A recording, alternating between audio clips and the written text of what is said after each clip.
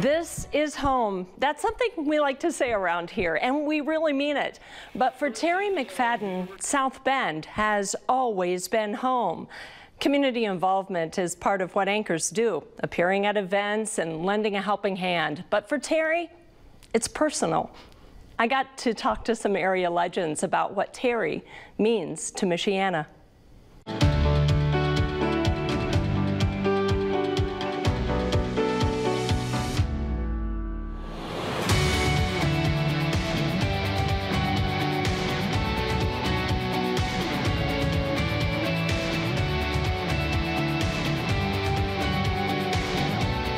Digger, welcome to the countdown.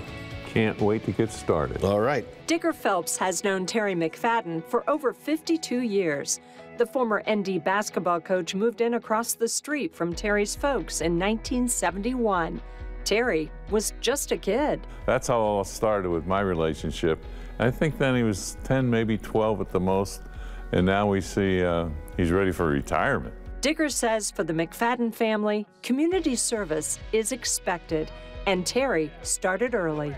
But nothing, nothing would keep me from being here. Well, he always believed in the community. You know, his dad was a war veteran, and I think that stuck in him as a kid growing up. And uh, I'll never forget, his dad was in the Marines, and um, every Veterans Day, uh, Vic would come out and put up the flag in the front yard, and the whole neighborhood would show up, and we'd celebrate. Thank you, Michiana, for giving so generously to Toys for Tots. With your help, thousands of area children will have a brighter holiday. Hoorah! And every December, the Marines show up to WNDU. Santa, thanks for coming to us. I'm going to hand this back to Terry. And here's the money shot.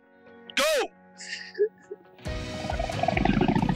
It's worth it. It's a great cause. It is worth it. We love being out here every year. We all have a dog in this fight, so to speak. You know, I was fortunate to participate in Toys for Tots, and I'd pull up in the WNDU driveway, and there'd be Terry with the Marines. Former Senator and current Ambassador Joe Donnelly grew up in South Bend, too. Well, sure, I've known the McFadden family for a long time. I played, I played baseball, in fact, with um, Terry's brother. You know, he's been a cornerstone of South Bend. We've, we've seen our city, the Michiana area, um, grow together as, uh, as we lived here. And looking out for one another is what makes Michiana great. Helping out with the, the toy drive for children at every Christmas, the backpack program that WNDU has had. Here we are! Toys and horsepower. You can't beat it. Whenever something was going on in town, Terry was there to help make it better. And he's always been there for his parish, St. Joe Hockey, and Holy Cross College, and for organizations like Real Services and their Age of Excellence Luncheon. Every year we've had it, Terry has hosted it, and he takes those responsibilities seriously. Carla Fales leads the agency known for helping area seniors and those underserved. And then he's also done our real big raffle every year. He does the final drawing, and so that's always exciting. You know, the other part too is he doesn't hog the spotlight. He's there to support the people that are doing the work, and I, I appreciate that about him too. And he's a real pro. Well, most of the time. I was told we give Terry a script, and he generally sticks to it. Generally. So part of what you see in that is you see people value their commitment to the community and knowing that they made a choice to be here. A choice to stay, even after retirement. Terry, as an organization that works with older adults, we tell you you don't retire, you refire. So I'm looking to see what it is that you do as you refire and recommit yourself to new things. And just congratulations on a long career. And it says something about you and your character that you're still here, you're still kicking, and you're still looking at other ways to be involved. And you can see the results that um, what everybody's mission is in life, it seems, or what, what the mission uh, is tried to be, is how do I leave something in better shape than I found it? And Terry has certainly done that in our community. Mac, you're going to be missed by all of us in this Michiana area with WNDU. But now, with what you've done in your life, you're ready for the next step, Grandpa. And I think that's going to be exciting for you and Lori to extend your family now and become grandparents and endure that part of your life. Take care and God bless. Oh, now those were just some of the public things that Terry has been involved with for the past 30 years, but you can bet there are plenty of other acts of service that you and I will never know.